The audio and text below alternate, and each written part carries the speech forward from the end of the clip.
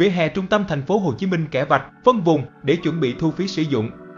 Những ngày qua, vỉa hè một số đường ở quận 1 thành phố Hồ Chí Minh như Phan Bội Châu, Phan Chu Trinh, Nguyễn Trãi, phường Bến Thành, Võ Văn Kiệt, Trần Hưng Đạo, phường Cầu Kho đã được kẻ vạch sơn, phân vùng cho các hàng quán có nhu cầu để xe tự quản trước mặt tiền nhà.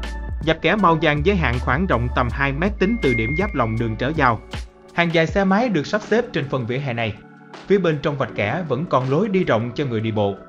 Từ ngày 1 tháng 1 năm 2024, thành phố Hồ Chí Minh sẽ chính thức áp dụng thu phí sử dụng tạm lòng đường, vỉa hè.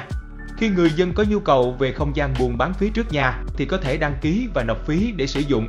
Thành phố Hồ Chí Minh chia thành 5 khu vực, trong đó khu vực quận 1, 3, 4, 5, 10, Phú Nhuận, khu A khu đô thị mới Nam thành phố và khu đô thị mới Thủ Thiêm sẽ thu phí cao nhất 50.000 đồng mét vuông một tháng, không phải khu trung tâm, và 100.000 đồng mét vuông một tháng thuộc tuyến đường trung tâm dành cho các hoạt động kinh doanh, mua bán, trừ hoạt động đổ xe và trông giữ xe.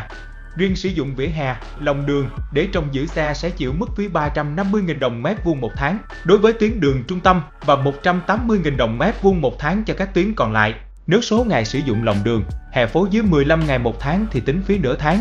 Nếu số ngày sử dụng lòng đường, hè phố từ 15 ngày trở lên trong một tháng thì tính phí một tháng. Qua rà soát, Ủy ban Nhân dân quận 1 cho biết trên địa bàn có 85 tuyến đường có hè phố, đủ điều kiện tổ chức sử dụng tạm một phần hè phố làm điểm giữ xe hai bánh, không thu phí tiền dịch vụ trong, giữ xe. 54 tuyến đường có hè phố, đủ điều kiện tổ chức, sử dụng tạm một phần hè phố làm điểm tổ chức kinh doanh dịch vụ, mua bán hàng hóa, 16 tuyến đường có hè phố, đủ điều kiện bố trí điểm trong giữ xe có thu phí. Trước đó, khu vực quanh chợ Bến Thành từng bị lấn chiếm hết phần vỉa hè dành cho người đi bộ, hiện nay đã được sắp xếp gọn gàng hơn.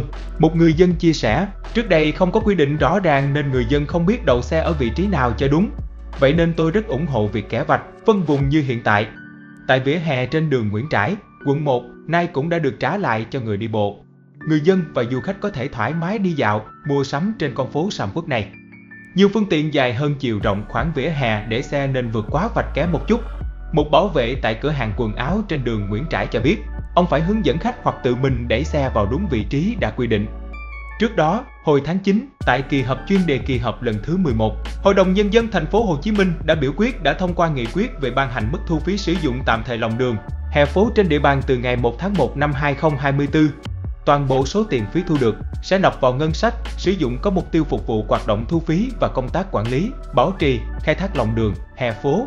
Quyết định tổ chức thu phí sử dụng tạm thời vỉa hè của thành phố Hồ Chí Minh được kỳ vọng sẽ lập lại trật tự và mỹ quan đô thị với tinh thần hài hòa, đồng thuận.